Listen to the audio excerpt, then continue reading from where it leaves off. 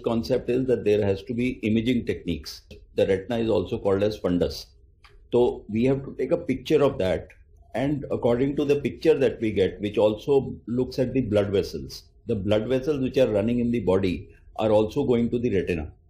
So this is the only place where you don't have to dissect or do a histopathology, but you can observe the blood vessels through a fundus photograph or a camera. If you see here, it will be a machine like this and you can get pictures there. And these kind of machines will then give a picture and that picture will be processed. This picture after processing by AI will throw up a diagnosis and it will tell you what is the entire situation in the body. So if you have a blood vessel which is narrowing, it's becoming arteriosclerotic or even in cancer cases, leukemias, etc., you can have hemorrhages, etc. So those things can be thrown up. Diabetic retinopathy can also be thrown up. So artificial intelligence, even in India, there is a lot of work that is being going